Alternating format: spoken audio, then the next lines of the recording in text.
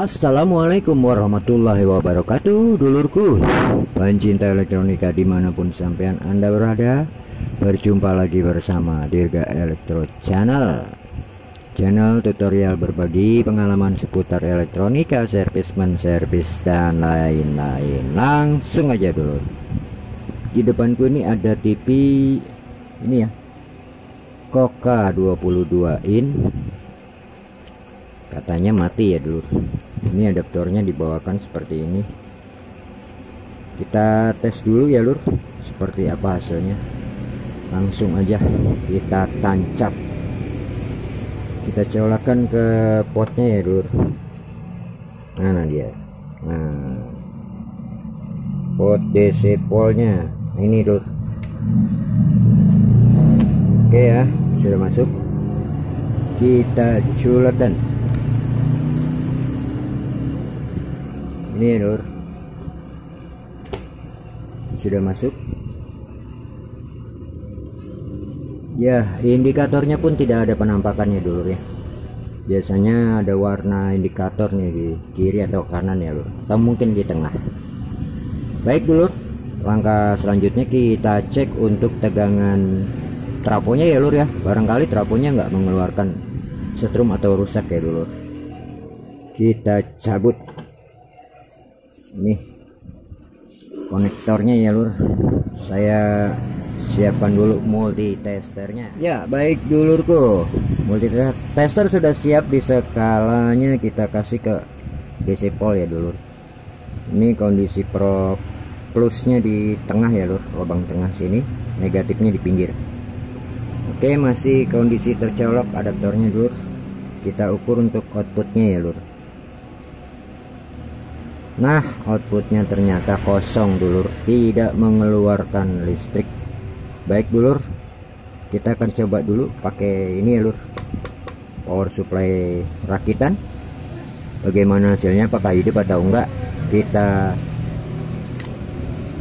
Putar dulu TV-nya dulu ya. Sebentar. Baik dulurku.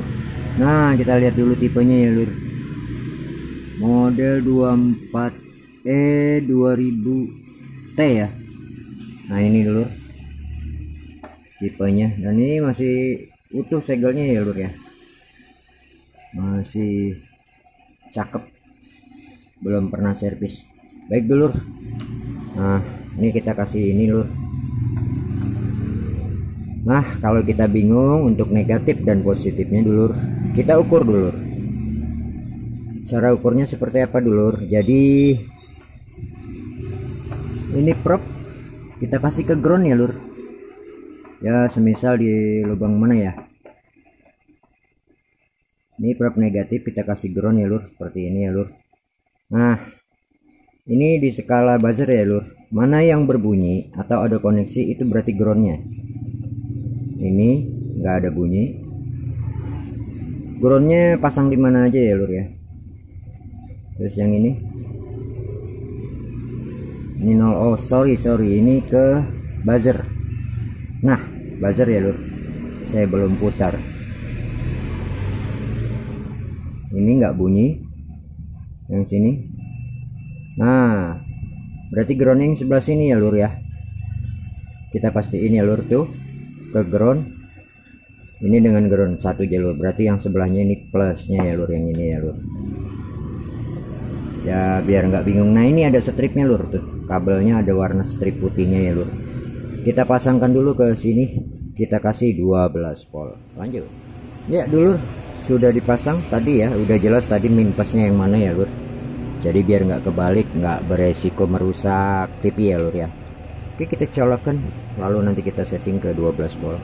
Colokan nah kita kasih 12 volt ya loh nah ini adaptor ini cuma dengan trafo di dalamnya ini 2 ampere ya loh 2 ampere.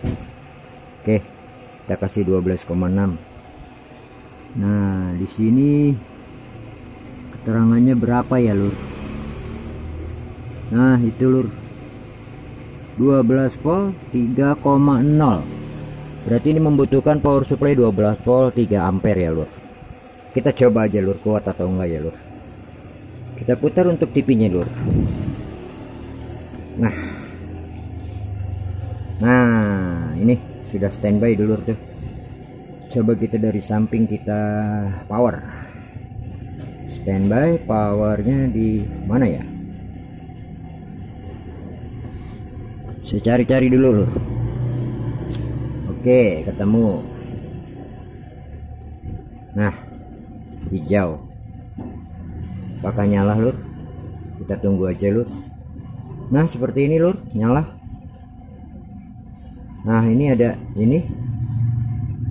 Tapi seperti nggak kuat ya lur ya? Coba kita antena lur. Kita antena lur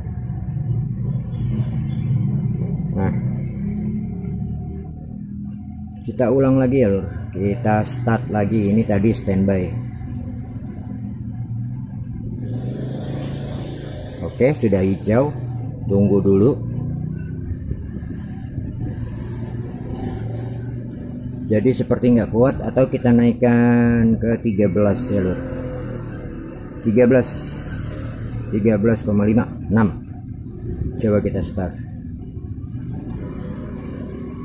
jadi ini sepertinya kurang ampere ya lur jadi TV sudah hidup kondisinya layarnya seperti ini. Ini ada pun protek. Nah kan lur?